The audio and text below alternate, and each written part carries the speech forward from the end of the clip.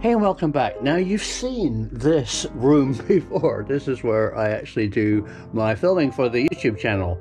But it has a second function. If I swing around, you can see we use it as a home cinema. And projectors as a concept are brilliant. You get an 8 foot, 10 foot diagonal size screen. But I would quite like a new projector an LCD projector using the latest technology, maybe higher resolution, higher contrast, and built-in audio. So a company called Wanbo sent me this tiny projector. They're calling it the Wanbo T2 Max.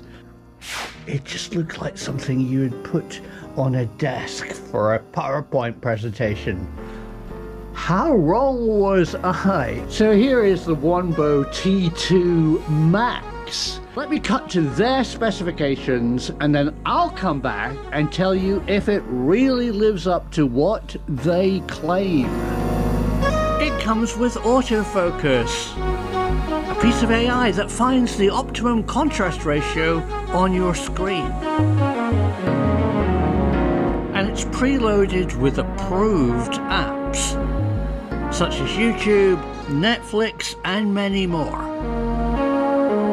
For such a small projector, the specifications are impressive. It's an LCD projector, illuminated by an LED bulb with 2000 hours. I worked out if you watch it one hour a week, it will last you for 40 years. Has an all-glass multi-element lens with over a 16 million color spectrum. Dual stereo speakers with a strong bass. As they say, even the air is shaking. Let me give it a test in our dimly lit home cinema room to help you judge how good it really is. What we do is too important. We got work to do. I'm coming for you. I'm back, baby. Wow, for me that's impressive. Good, clear, bright, sharp picture.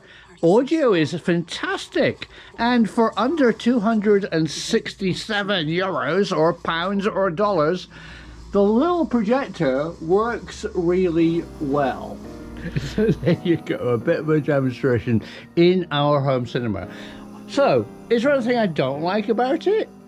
Actually, not. For the price, the picture quality is fantastic. It also worked out of the box, immediately finding our Wi Fi network, connecting, getting Netflix, YouTube, and a whole lot of other good apps.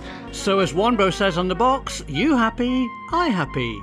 I guess I am for the price, the form factor, the picture quality, and especially the audio quality of this little beast is second to none. Links in the description. You might enjoy having one of these in your home cinema.